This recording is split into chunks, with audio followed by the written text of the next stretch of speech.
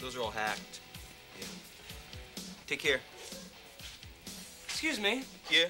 Do you have the uh, new Depeche Mode record? Yeah, it's over there. But it sucks.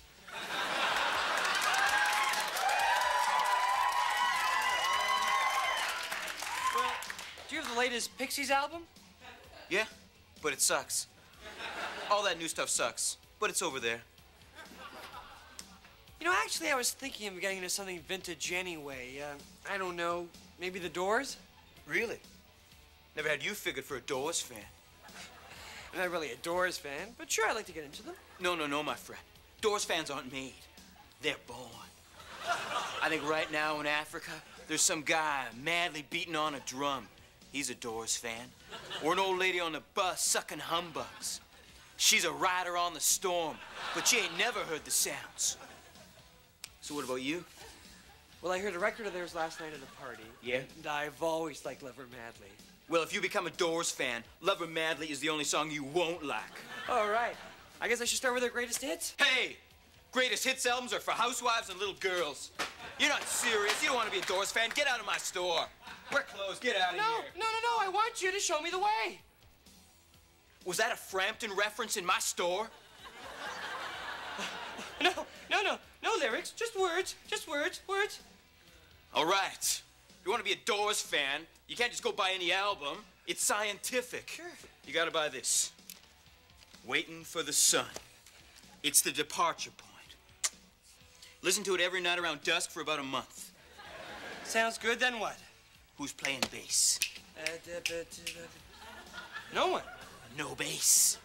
No bass? That's right. The gypsies had no homes, the doors had no bass. But don't let that scare you, my friend. Let that liberate you. Because when you're free flying with the doors, man, what do you need a safety net for? Viva la doors! Viva la doors! Right. Listen, there's a burden that every real Doors fan's got to live with. That's a fact that the greatest rock and roll band of all time is never going to play live again. Can't live in the past. No, wait. There's hope. I heard once that Iggy Pop is going to front them, and the Doors are going to tour again. Where'd you hear that? Oh, I heard it somewhere. Yeah? Read in your precious Creem magazine, maybe? Well, it's not gonna happen Well, how do you know that? because somebody told me. Well, who told Do you wanna know who told me? Oh, yeah. Jim fucking Morrison told me! That's who! Do you have the uh, new Depeche Mode album? Sucks! I forgive you. Here. Take this. It's an eight track tape. It's one of the last in existence. I want you to steal a car. I have a car. Steal a car. Steal a car. Get in it and drive west. Play the tape full blast. When the tape ends, get out and get into a fight. Then get back into the car and come to town and meet me at the Cargus Club. What will you do?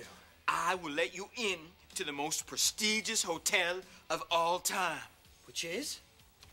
Morrison Hotel. Then what? Then, you're gonna be a Doors fan, man.